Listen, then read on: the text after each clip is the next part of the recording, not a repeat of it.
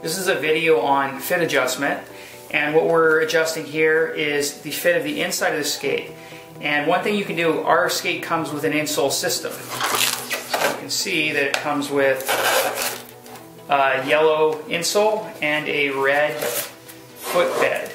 So if you get the skates and try them and you find you want more depth in the skate, you can actually remove the red footbed and just use the yellow insole. That's going to give you just a little bit more volume in the skate. Vice versa, if you find the skate has too much volume, let us know and we can send you either a thicker red footbed or another one of these. So what you'll do is actually, you'll add it, you'll be taking volume away from the inside of the skate.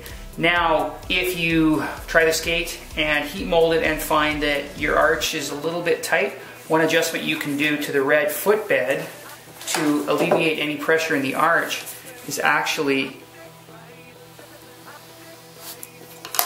cut a section of the red footbed out.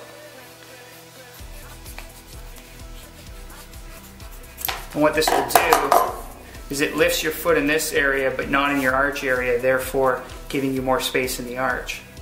And then the yellow insole goes on top. And then this would be placed back in the skate.